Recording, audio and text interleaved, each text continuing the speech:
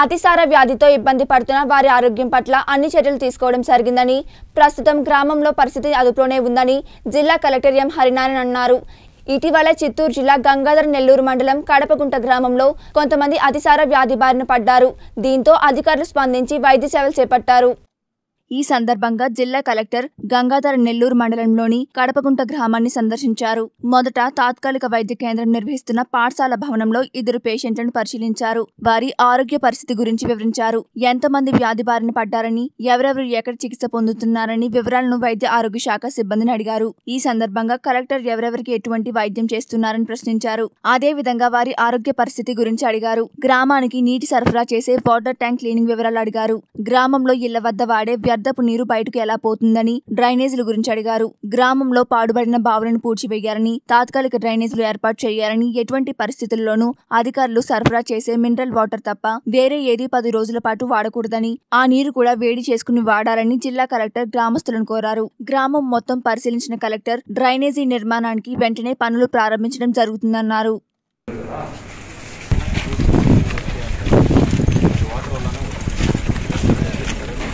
బాబు దించు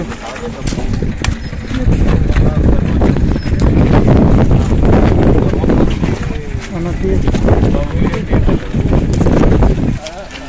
అని అది మట్టి తోలుతున్నారుగా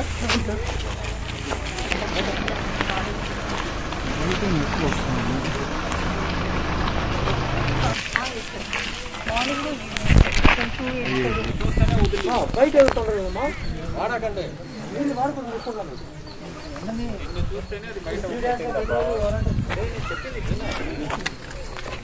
నిన్ను చూస్తేనే ఆవిడ బయట తోలింది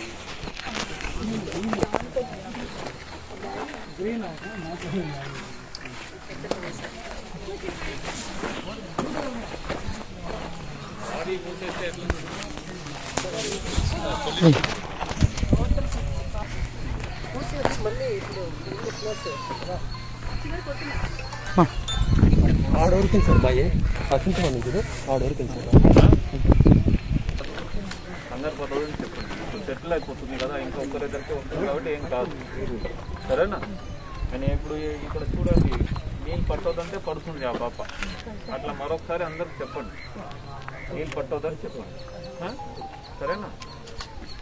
నీళ్ళు దేనికి కూడా వాడొద్దు. ఒక పది రోజులు ఆగితే అది సెటిల్ అయిపోతుంది. మనకి కింద వర్షం పడింది నీళ్ళంతా కూడా కింద కూడా బోర్లు కూడా పోతుంది సో కొంత కొన్ని రోజులు వాడకుండా ఉంటే తెలియదు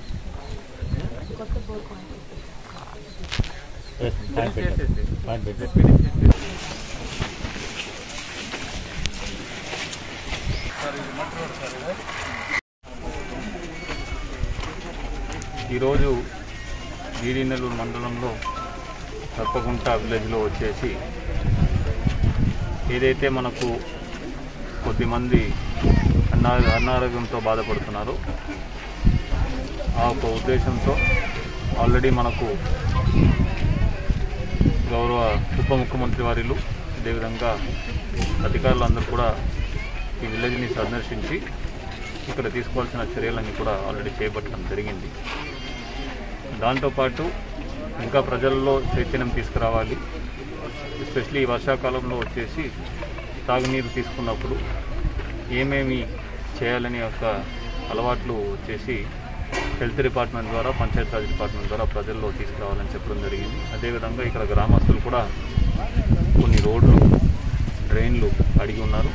అది కూడా చేస్తామని చెప్పడం జరిగింది. మిగిలిన వాళ్ళు ఎవరికైనా సహాయం చేయాలంటే కూడా ఖచ్చితంగా ఆ సహాయం కూడా చేస్తామని తెలియజేయడం జరిగింది.